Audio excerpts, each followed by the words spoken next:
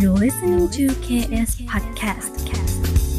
อัปเดตข้อมูลหุ้น วิเคราะห์ครบทุกสถานการณ์เศรษฐกิจและการลงทุน เพื่อให้คุณลงทุนอย่างมีความสุขกสิกร Security the Happiness Investment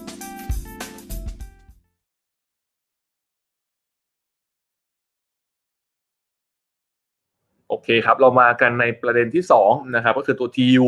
นะครับซึ่งก็ต้องบอกว่างบนี่ค่อนข้างทำเซอร์ไพรส์ในเชิงบวกเลยนะครับ ซึ่งวันนี้พี่ทิพย์มีการประประมาณการขึ้นด้วยนะครับ สวัสดีครับพี่ทิพย์ออมแล้วก็ผู้ผู้ชมทางบ้านด้วยนะคะ เชิญเลยครับ ค่ะ ก็เมื่อวานนี้นะคะทียูมีรายงานกำไรในไตรมาสหนึ่งนะคะ ที่ประมาณ 1,800 ล้านบาทนะคะ เพิ่มขึ้น 78% year on year แล้วก็ 24% quarter on quarter นะคะ โตค่อนข้างเด่นแล้วก็บีท ตัวเลข forecast ของเราประมาณ 33%แล้วก็ Bloomberg Consensus ประมาณ 35%ปัจจัยหลักๆ ที่ทำให้ e a r n i n g ออกมาดีกว่าที่คาดเป็นเรื่องของ gross margin โดยรวมนะคะ ที่ดีกว่าที่เราประเมินประมาณสัก 60 basis point นะคะ ตรงนี้เนี่ยมาจากทั้ง 3 ธุรกิจหลักของ TU เลยนะคะ เป็นทั้งส่วนของ Cantuna นะคะ Frozen Seafood แล้วก็ Pet Care แล้วก็ Value Added Product นะคะ ที่มาจินมีการปรับตัวเพิ่มขึ้นแล้วก็ดีกว่าที่เราคาดทั้งหมดนะคะ TU นะคะในในไตรมาสนี้เนี่ยจริง ๆ แล้วก็มีการรับรู้ค่าใช้จ่ายพิเศษในส่วนของที่เกี่ยวข้องกับ Red Lobster แล้วก็ธุรกิจในต่างประเทศพอสมควรนะคะ รวมๆแล้วเนี่ยก็อยู่ประมาณ 300 กว่าล้านนะคะ แต่ว่าหลักๆเลยเนี่ยก็จะมาจากส่วนของ Red Lobster เป็นหลัก ซึ่งเป็นเรื่องของการเปลี่ยน accounting เมธอดนะคะที่เกี่ยวข้องกับพวกสัญญาเช่าต่างๆนะคะ ก็สามารถไปตามดูในรายละเอียดได้ใน report นะคะ ส่วนเรื่องของการปรับมูลค่าเหมาะสมนะคะของธุรกิจที่ต่างประเทศก็คือที่รัสเซียนะคะคิดเป็นเอ่อ expense อยู่ประมาณสัก 73 ล้านในไตรมาสนี้นะคะ แล้วก็ FX gain มีอยู่ 244 ล้านนะคะเพราะฉะนั้นถ้าตัดรายการพวกนี้ออกนะคะ core profit ของ TU ก็จะอยู่ เน็ตเน็ตเราก็ไม่ได้ต่างไปจาก net profit มากอยู่ประมาณ 1,790 ล้านบาทโดยประมาณนะคะ เพิ่มขึ้น 40% year on year แล้วก็ 26% quarter on quarter นะคะสิ่งที่เซอร์ไพรส์เรามีสองเรื่องก็คือเรื่องแรกก็เป็นเรื่องของ Margin อย่างที่เรียนก็คือ แม้ว่าแนวโน้มของยอดขายในส่วนของ ทูน่า canned tuna เนี่ยมันปรับลดลงตามที่คาดนะคะ แต่ว่า margin เองถือว่า maintain ได้ในระดับที่ค่อนข้างดี คือระดับประมาณเกิน 20%อันนี้คือสิ่งที่ถือว่าดีกว่าที่เราคาดพอสมควร อีกส่วนหนึ่งคือ pet pet care เองก็มี margin ที่ค่อนข้างสูงกว่าค่าเฉลี่ยปีที่แล้วเยอะพอพอสมควรนะคะ แม้ว่าจะ soft ลงเล็กน้อยเมื่อเทียบกับไตรมาสที่แล้วก็ตาม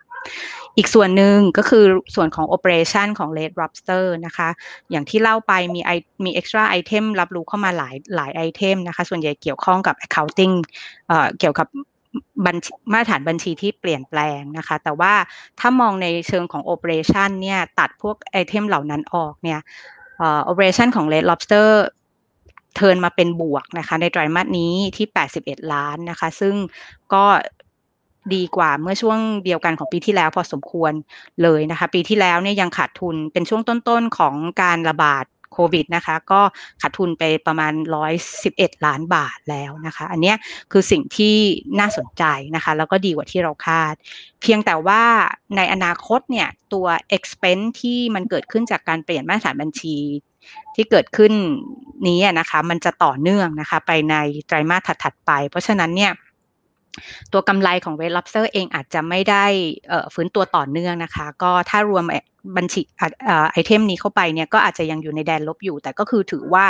น้อยลงมาก ๆนะคะ โดยเฉพาะถ้ามองในในช่วงไตรมาสสองของปีนี้เนี่ยที่เทียบกับไตรมาสสองปีที่แล้วที่เป็นช่วงที่แย่ที่สุดของ Red Lobster เนี่ยก็จะเห็นการฟื้นตัวที่โดดเด่นเลยนะคะ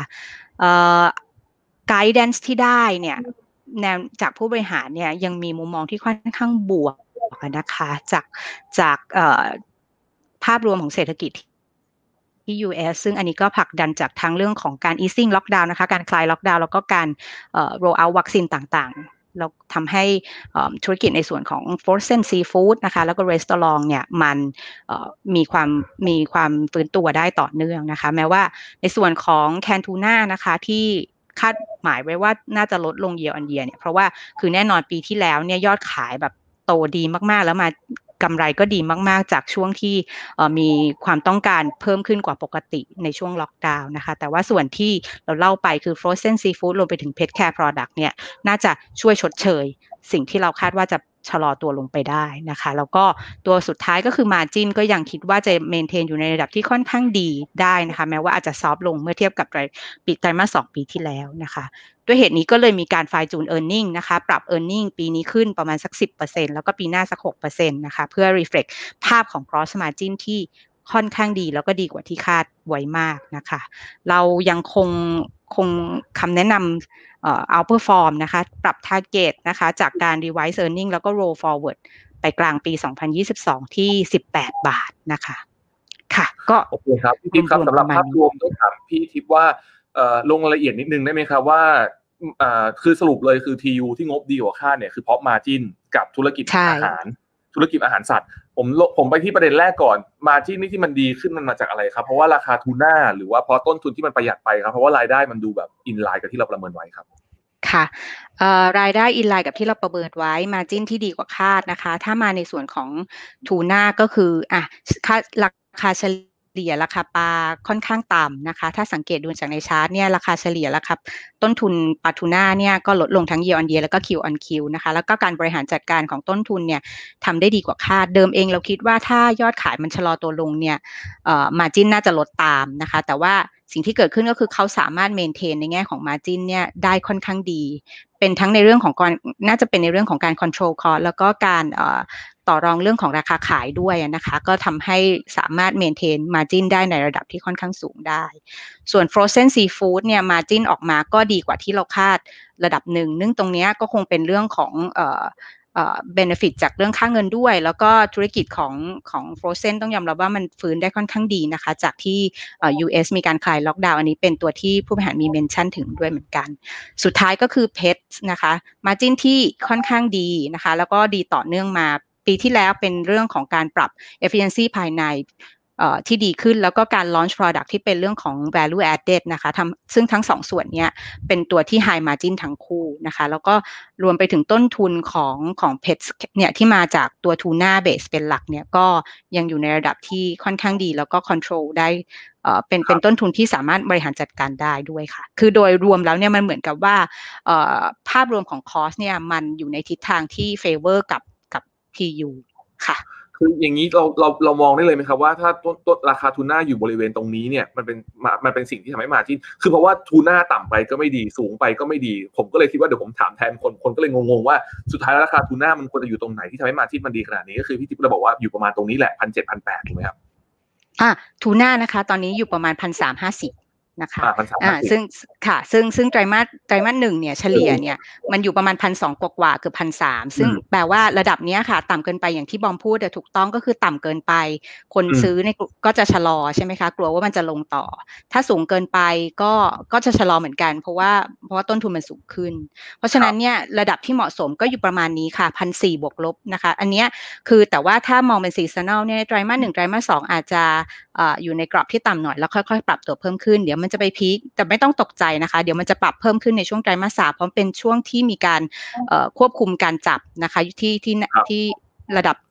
สองสามเดือนนะคะ ในช่วงนั้น ราคาก็อาจจะปรับเพิ่มขึ้นไปได้บ้าง แต่ว่าโดยรวมแล้วทั้งปีเนี่ยเสียยังมองว่าราคาเนี่ยอยู่ในระดับที่บริหารจัดการได้ แล้วก็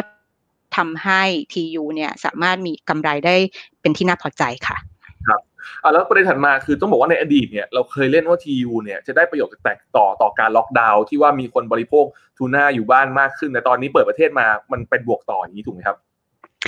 เอ่อจริง ๆ แล้วยอดขายไม่ได้บวกต่อ เพียงแต่ว่าสิ่งที่ดีกว่าคาดคือการบริหารกำไรก็คือยอดขายมันลดลงมาตามที่คาด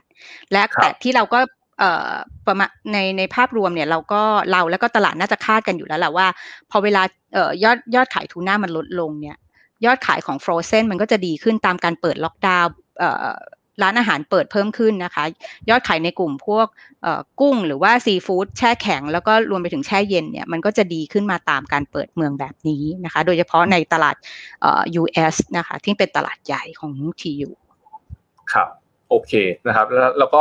ท้ายสุดนี้พี่ทิพย์ก็ได้มีการปรับประมาณการขึ้นเป็น 18 บาทนะครับใช่ค่ะค่ะโอเค ได้ครับ วันนี้ขอบคุณทางพี่ทิพย์มากครับ ค่ะ ขอบคุณค่ะ